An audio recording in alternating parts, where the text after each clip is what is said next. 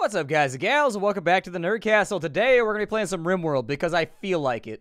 Because I feel like it. But as an additive bonus, I've got it on the Unstable branch right now, which is 1.0, which is the release that's supposed to be coming out at some point this summer in a couple of months. Uh, it's the final version of RimWorld as far as Steam is concerned. There may be more stuff added to it or whatever, which I know sort of contravenes that. But this is supposed to be kind of the 1.0, the game is done version. If they add more, then they add more.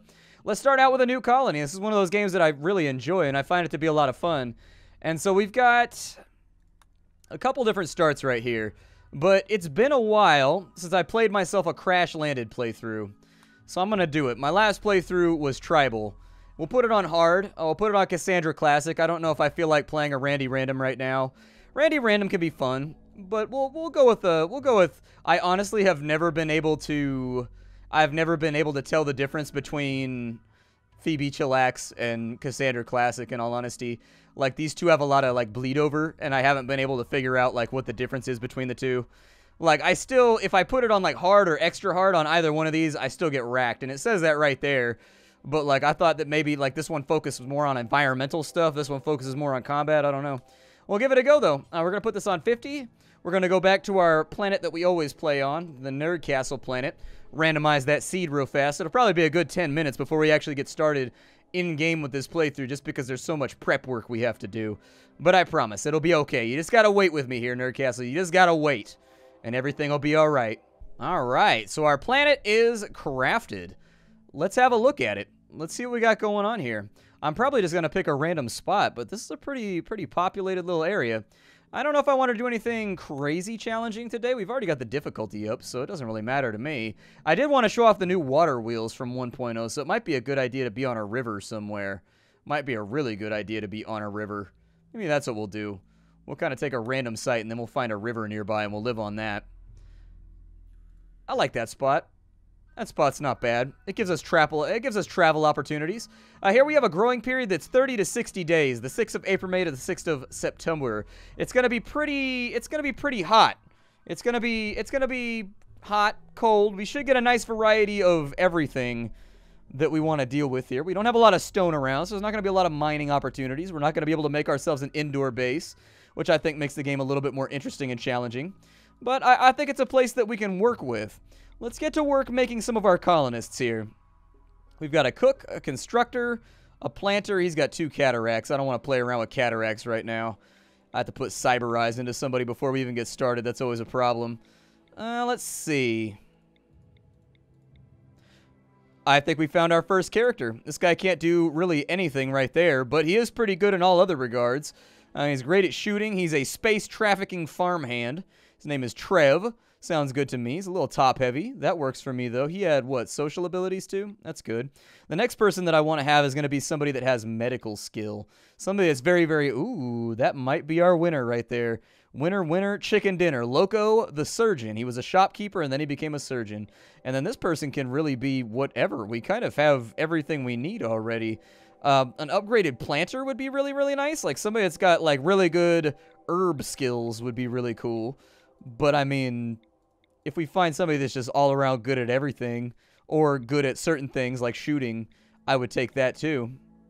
It's a pretty solid character right there, but he's violent and he's social. Oh, he can't do violence and social. Okay. Staggeringly ugly. Why is it that they can't do that? Probably because of his background. Kind of a bummer. I like that character too. I was looking for 8 or higher in planting. That's pretty good. That's not bad. He's going to be in constant pain, which is a bummer, because he's got stab scars and he's got a frail torso. But he's not bad. He's not bad at all. He can't, or she can't do anything violent, which makes her a bit of a liability. But we can use her... Let's do it. Sorry about that. My cat is being super aggressive about getting up on the desk right now. I'm battling with my cat at the moment because he just won't stop. So if you hear any whumpings or lumping sounds in the recording, it's because my cat is attacking my mic stand and trying to get up on top of it. And if I put him outside the room, he screams his ass off and it comes through on the recording too. So it's like you can't win if you tried. Uh, we've already got a shelter over there. That's actually not a bad spot either. Let's have a look around the map though and see what we got going for us. We've got a little bit of extra steel right there. I will tell them to pick that up at one point or another. Uh, this location's got a good steel supply that'll last us well into the mid-game, so I don't think there's any... Uh, there's not too much of a consideration to be made where we want to make our base. It's going to be right here. We've got a free building on top of a bunch of other stuff. And so what I'll do is, since we got a free building right there, a free well-insulated building, by the way, we'll go ahead and get that started. We'll haul out the rocks while we can. Let's go ahead and grab some of these goodies right here. And we'll start marking them off as being okay. Uh, we start out with flak jackets and armor now, which is pretty cool. You didn't start with that before. And we got a hunter that doesn't have a ranged weapon. This guy over here isn't super good at shooting, so I'll give him the revolver so he can put more rounds downfield. However, Trev is pretty good at shooting, so I'll have him grab the rifle real quick before we go any further. Aside from that, other jobs that need to get done while I'm setting up priorities and fixing things and making things happen. Chop down trees, this is. Chop down trees, this is, and then put in a bed right there. And then we will unpause the game. We will put it on middle speed. And we'll get started with our assignments here. Uh, recreation-wise, let's have four hours of recreation right there. Looks good. I'm going to put two hours of anything right there, just in case they don't want to sleep through. And I'm kind of just playing around with new ideas right now. I play a lot of RimWorld, and so each time I play, I try to try something new, and those little gray blocks are the new something that I'm trying right now. Uh, they've messed that up. That's okay. They're going to mess things up from time to time. Let's go ahead and get our priorities set up. Uh, the game uses a priority system based on what people are good or bad at. We'll have a backup doctor right there. And one is the highest priority, four is the lowest priority for the activities that you're trying to get done if you've never seen this game before. I know most people at this point probably know about RimWorld, but, you know, who's the worst at this over here? Six. I'll take you off of it. I don't need you on that right now.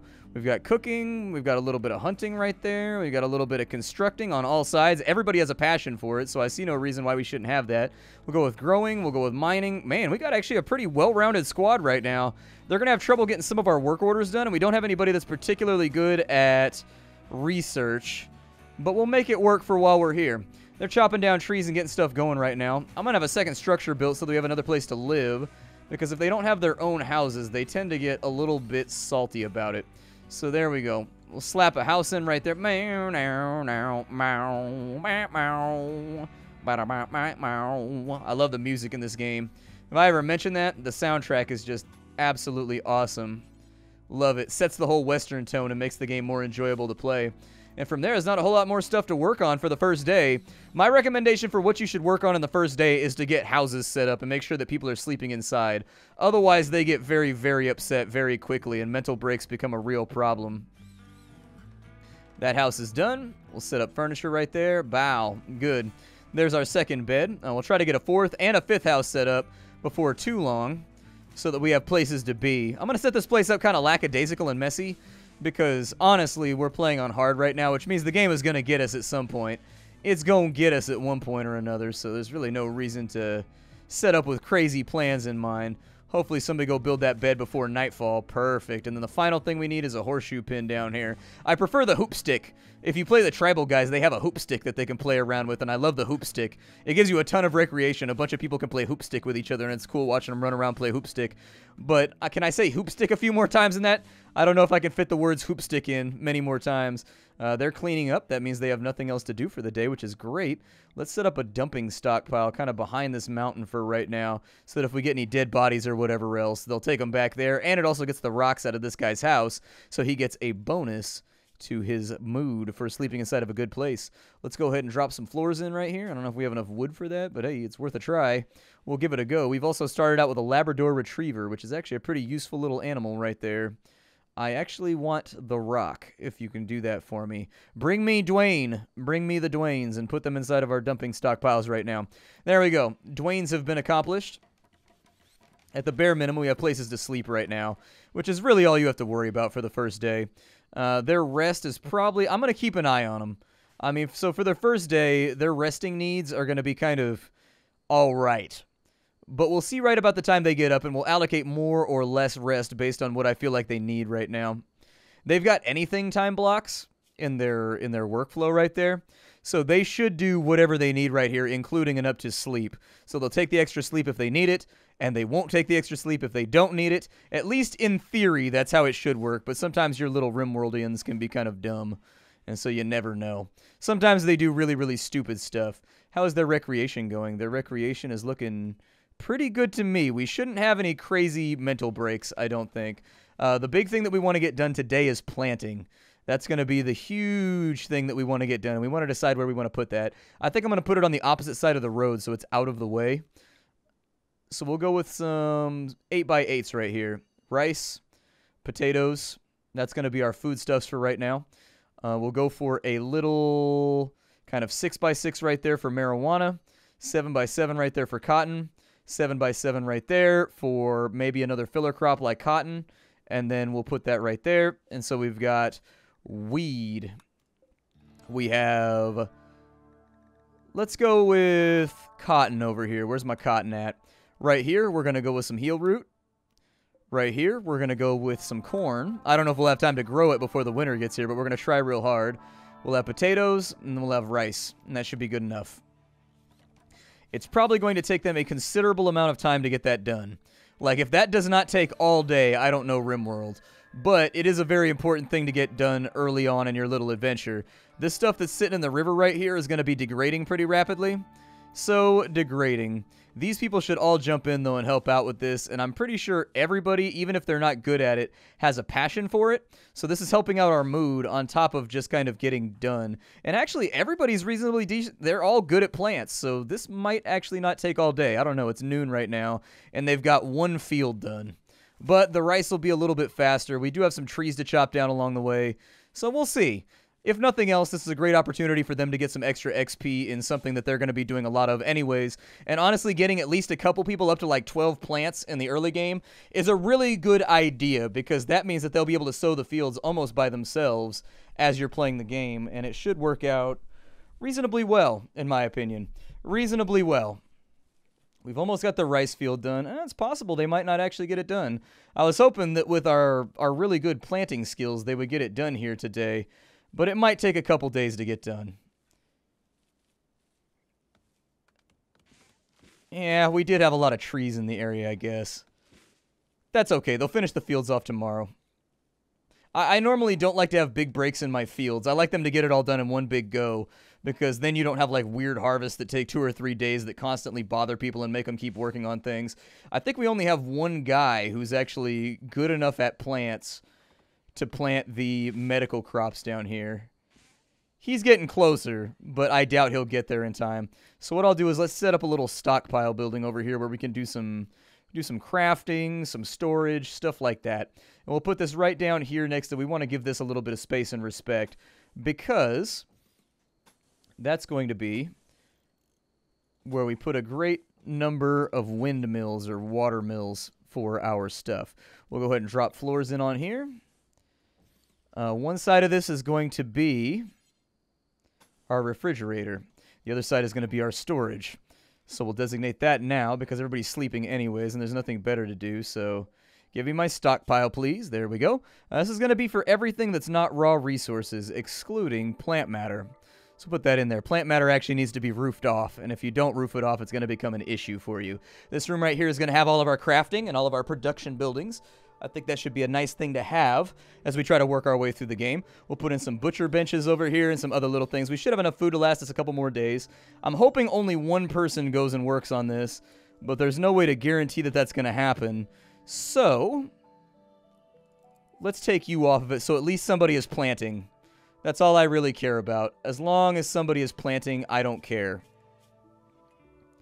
She's soaking wet. That should only last for a couple hours, though, before her clothing dries. Uh, she'll go work on that right there. Hopefully finish off those fields today. Is she the person that's really good at plants? Good. That means she can work her way through while this gets done over here. And everything should be all right. We're going to haul those. Uh, we're going to try, actually. Let me zoom in real close. And we're going to haul all of those out when we get a chance so that we don't have an ugly workspace because that does affect people's moods as well. Making sure we don't get mental breaks on higher difficulties is going to be a major point of pride for us and something we're going to want to focus on. They're getting the maize planted right over there. That's really, really good. And then with this refrigeration unit right here, the other thing that we might want to do is we're going to try and piece together something sexy over on this side. Don't worry too much. This stuff is not going to rot before we get it to storage. It can sit out it can sit out there for a good 5 or 6 days. It's really not a big problem. How's the field going over here? Ivy, being aptly named, is doing her best to get this done. She's 60 years old, and so she spent nine years in cryo sleep. How old are you, Trev? Trev is 93 years old, although technically he's biologically 26 years old because he was in cryo sleep for, you know, 80 whatever years. Uh, this guy's been almost asleep for a millennium. Good lord. That dude's almost a thousand years old. He woke up in a completely different time period and technological period than he went to sleep. That's kind of wild to think about. Like, what if you went to sleep for a thousand years? I would only go to sleep for a thousand years if my wife could come too. I don't want to be in the future alone, being some kind of weird Cro-Magnon throwback that everybody's gonna ogle act like. I, I don't want to be a history piece. You know what I mean? It's not what I'm trying to do. I need somebody to keep me company along the way. Uh, now that that's done, the other thing that we could focus on for right now is we can go to our power solutions. we want windmill generators, and we want them badly. We're going to put in two for right now. One right there and one right there. Whether or not we're going to be able to roof this off and run the power conduits remains to be seen, but these provide us with 1.1 kilowatts of power which is enough. 2200 will be good enough until we get to hydroponics. Once we get to hydroponics, we'll have to make little adjustments as to what we're trying to accomplish, but up until then, shouldn't be a big issue.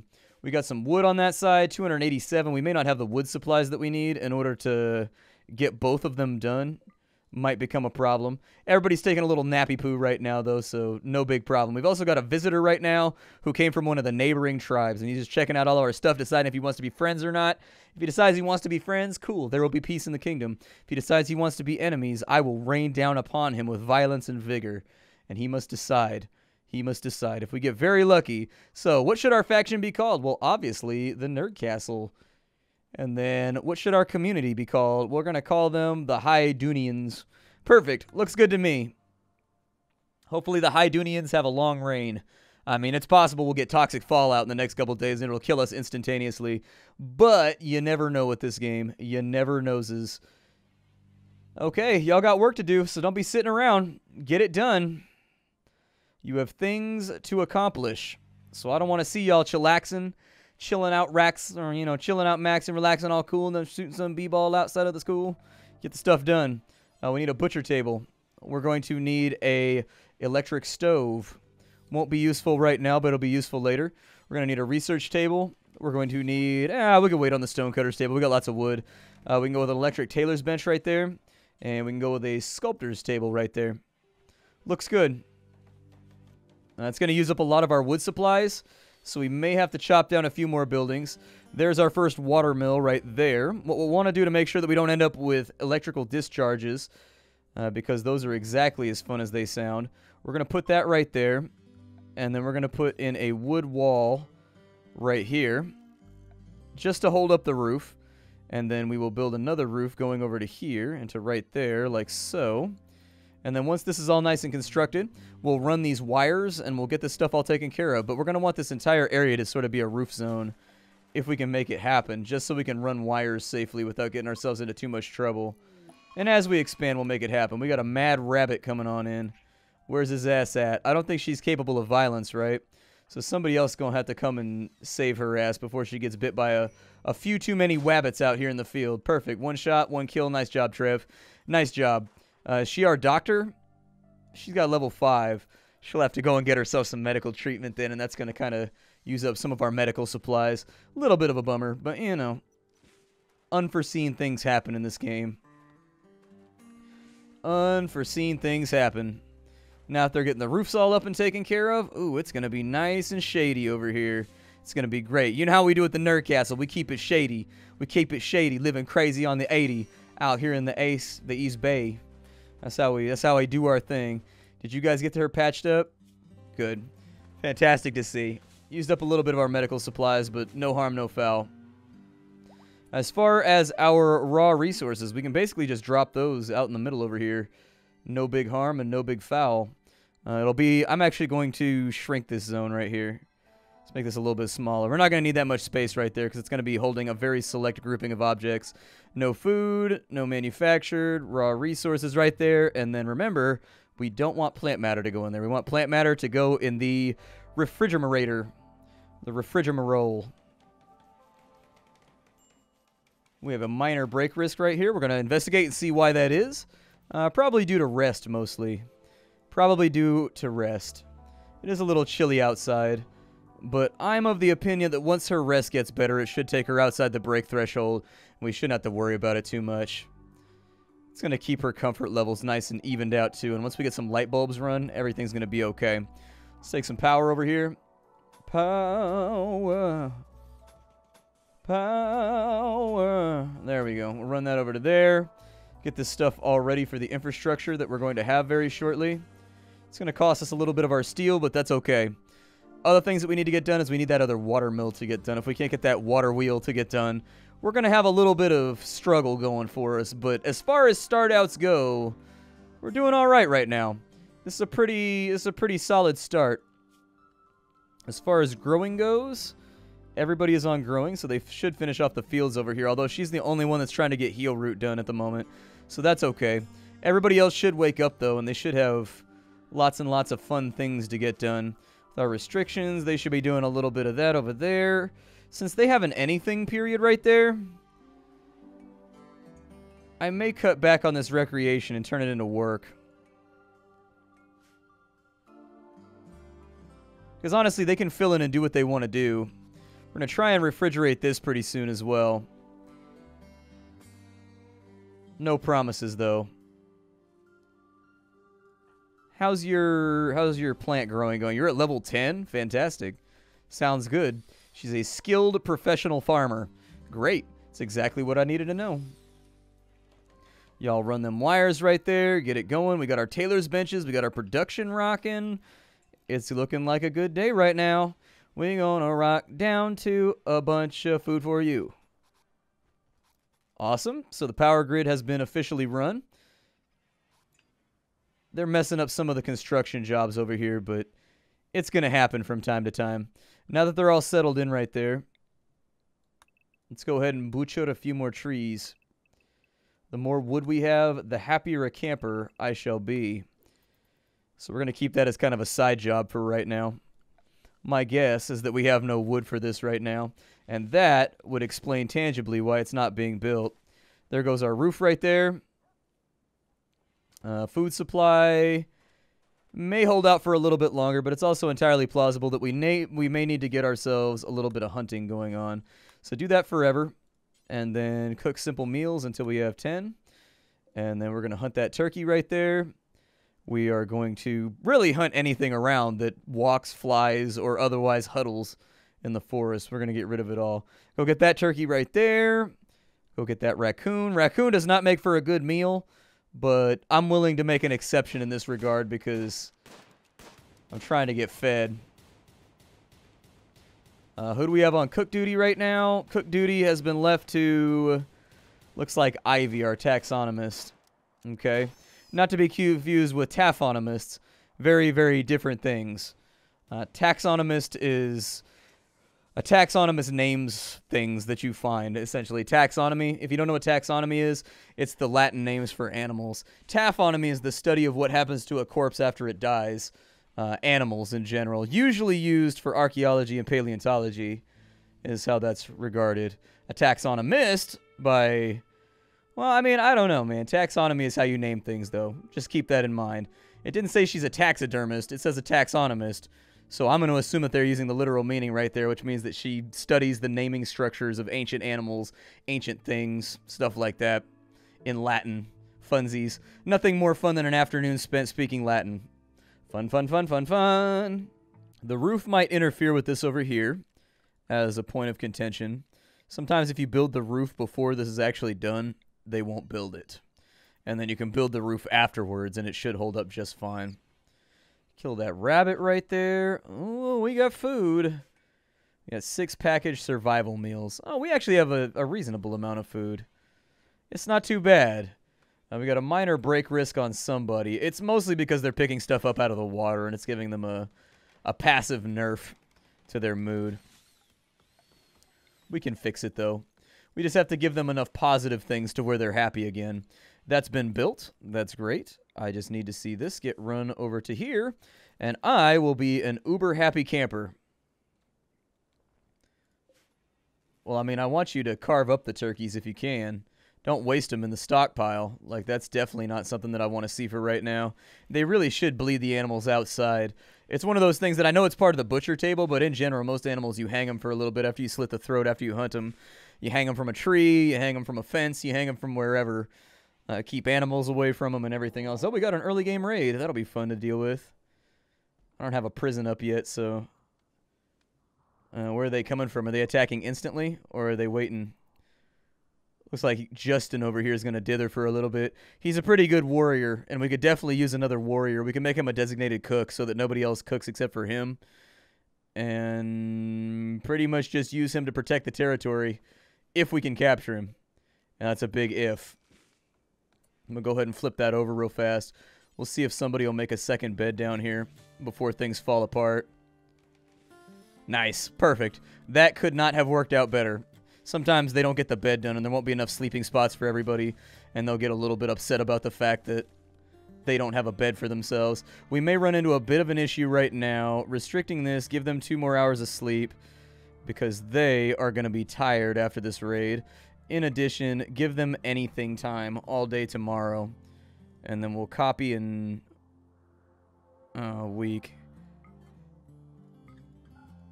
Hold on give them anything time over here. I messed that up. My cat jumped onto my chair and it made my cursor move. And uh, we'll go ahead and put these right here. We'll let them do whatever they want tomorrow as long as they keep their mood up. Because they're going to be up all night fighting this raid. And so that's going to negatively affect moods pretty quickly. Uh, get people lined up and ready to fight. Hopefully we knock him out. We don't kill him. Well, he's taking a little bit of damage. Ah, you killed him. You killed the poor bastard. Oh, well. I wanted another warrior. That's what I was going for. Because if we could craft like a longbow or something like that for him, he'd be a lot better. But ah, bad luck with the shooties. Bad luck with the shooties. Uh, we'll go ahead and uninstall that, and then we'll convert that back to a normal bed, and tomorrow should be kind of interesting. They killed a guy, so my assumption is that they're going to be a little upset about it. Right here, don't put animal corpses in here, please. I don't put those in there because I don't want people going back over here and seeing dead bodies in a little bit if that's going to be a problem. This is RimWorld 1.0. I hope you guys have been enjoying our playthrough. I will see you all later. Leave a like on this video if you enjoyed it. Other than that, you can get the game down below if you really, really want to to support the developer. Hi, do, and I'll see you next time, everybody.